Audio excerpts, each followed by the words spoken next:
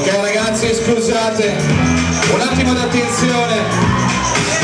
dovete dare tutti le spalle alla console perché questo è il momento ufficiale Vediamo